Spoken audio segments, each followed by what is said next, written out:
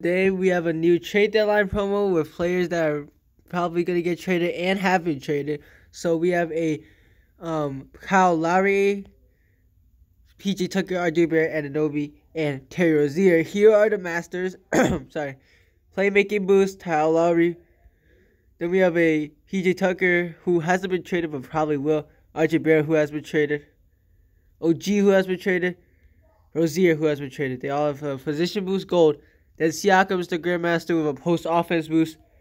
Looking nice right there. By the way, I'll be making a video tomorrow about the trade deadline.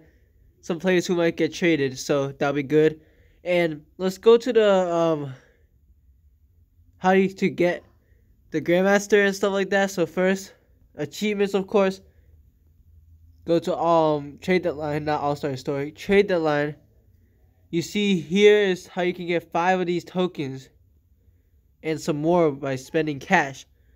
So you want to get those tokens to go to trade deadline, and then you want to add those to get eight tokens to get 192. To get Siakam is super hard.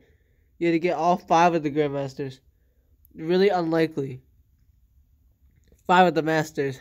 You can also get five of the different like players from like packs and stuff in the store, or trade in some tokens, uh, some players for tokens to get the 92 overalls, which you would trade in for Siakam. You need all five of them. And here is the trade the line slot. So most of the stuff here is in the store. What you can do is just get Siakam for a hundred dollars. Okay. Um. You can also you do this pack, which will give you some players and at least a trade deadline player to be able to get uh, one or more trade deadline players who to and the tokens to get um, some of the masters as well as doing this cash for a chance at a trade player or getting some tokens of course uh, to get um, the players for um, the sets.